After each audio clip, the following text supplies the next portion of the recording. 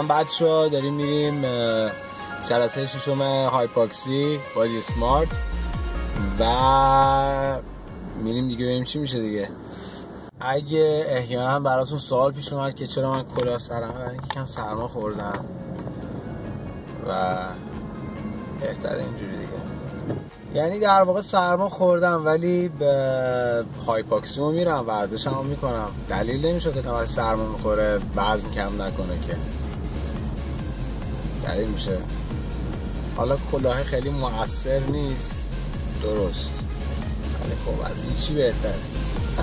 از مسئله که دارم وقتتون بگم در هایپاکسی که اگه میاین کفشایی بپوشین که خیلی راحت بشه درش ورد و خیلی هم زود بشین بتونید راحت بپوشیدش. برای اینکه وقتی این لباس رو میپوشید یه مقدار سخت میشه. یعنی دوستان باید بیاد کمکتون کنم که کفش پاتون بره. من یه چیزی میپوشم. این شکلی خیلی راحت در میاد خیلی راحت میشه پوشیدش. تو هم میام یه فیلمی نگاه کنم تا آخرش این نیم ساعت ما تمام میشه بعد بریم خونه. هر جایی که میشه با آرومی فیلم نگاه کرد خدا فیلم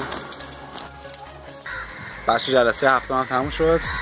گفتش که همین خانمه گفتش که وزن کم کردی ولی بعد از دو ساعت که بعدش بقولا نباید آب و بخش به جز آب و چای دیگه نه چیز دیگه بخوری مثل اینکه چیز دیگه ای نخوردی. بر همین مقداری هم ماسلات کم شده مقدار از مایچات کم شده. برای همین گفتش که بعد از دو ساعت که میگذره بعد از هایپوکسی حتما حتما کمی پروتئین بخور.